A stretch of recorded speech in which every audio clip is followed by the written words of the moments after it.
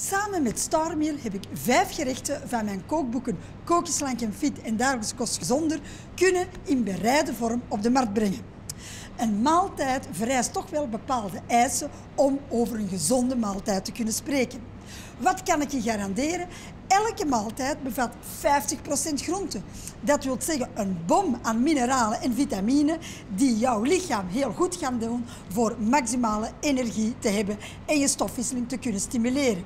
Dan hebben we nog de juiste verhouding van de koolhydraten en de eiwitten. Wat belangrijk is, dat je dat in een goede verhouding eet, altijd maar voor die maximale energie.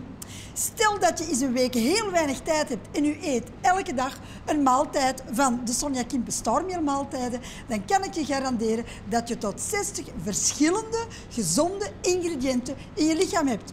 En dat doet voor jou heel veel. In de eerste plaats stofwisseling stimuleren. Dat is natuurlijk goed om je slank en fit te voelen. En waar het vooral om gaat, maximale energie om gewoon heel veel leuke dingen te doen.